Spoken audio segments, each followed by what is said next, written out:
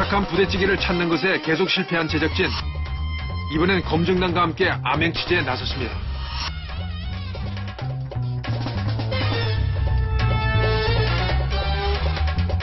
먼저 찾아간 곳은 경기도의 한 부대찌개 전문점. 온라인상에서 깔끔한 부대찌개 집으로 많이 알려진 곳입니다. 1인분의 가격은 7,000원. 네. 두 가지 고깃집 있어요. 여기 야채육하고 고기 육수가 있거든요. 주문한 부대찌개가 곧 나왔습니다. 검증단은 두 가지 육수 중 고기 육수를 선택했습니다.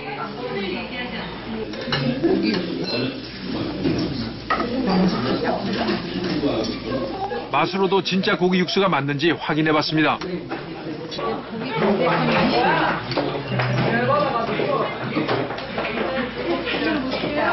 시간을 머리 흔히 말해서 가마솥 연근하게 끓였을 때 그런 느낌을 느낄 수가 있어요. 아, 오래되진 않았네요. 검증단은 담백하고 깔끔한 육수 맛을 무척 만족스러워합니다. 찌개가 끓자 검증단은 본격적으로 시식에 들어갔습니다. 먼저 부대찌개의 주 재료인 햄과 소시지부터 맛을 봅니다. 오래됐다라는 느낌이 좀 그래도 오래된 게 냉동실에 이제 보관을 해서 그런 거니까 이제 좀 뻣뻣한 느낌이 좀날 수가 있네요. 수분이 많이 쌓인 상태. 느낌을 국물의 맛을 내는 양념장은 어떨까?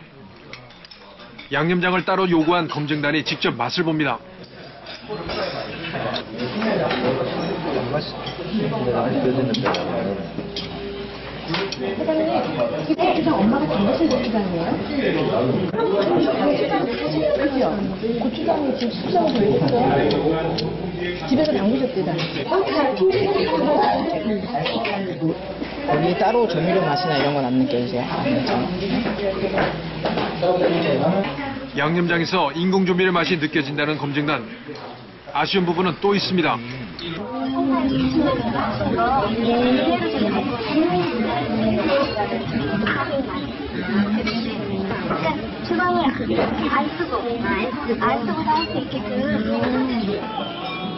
준비된 재료를 저울에 재는 주인.